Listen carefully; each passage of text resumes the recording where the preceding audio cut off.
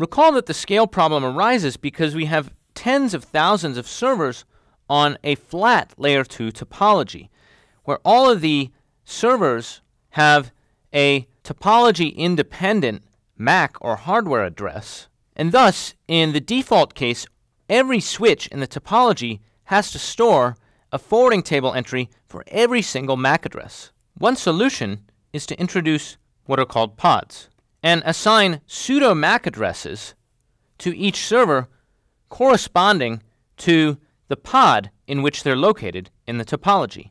So, in addition to having a real MAC address, each server has what's known as a pseudo MAC address, as shown in pink. Thus, switches in the data center topology no longer need to maintain forwarding table entries for every host, they only need to maintain entries for reaching other pods in the topology. Once a frame enters a pod, the switch then, of course, has entries for all of the servers inside that pod, but they don't need to maintain entries for the MAC addresses for servers outside of each pod.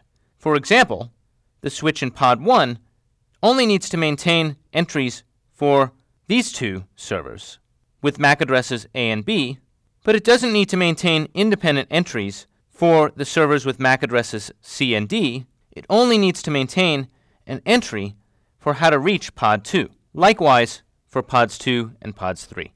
Now, in such a data center topology, of course, these hosts are unmodified. So they're still going to respond to things like ARP queries with their real MAC addresses. So we need a way of dealing with that, as well as a way of mapping pseudo MAC addresses to real MAC addresses. The solution is as follows. When a host, such as server A, issues an ARP query, that query is intercepted by the switch.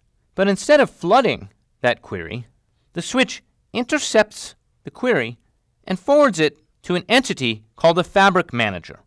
The fabric manager then responds with the pseudo MAC corresponding to that IP address. Host A then sends the frame with the destination pseudo MAC address, and switches in the topology can forward that frame to the appropriate pod corresponding to the pseudo MAC address of the destination server. Once the frame reaches the destination pod, let's say in this case pod 3, the switch at the top of that pod can then map the pseudo MAC address back to the real MAC address. And the server that receives the frame receives an Ethernet frame with its real destination MAC address, so it knows that the Ethernet frame was intended for it.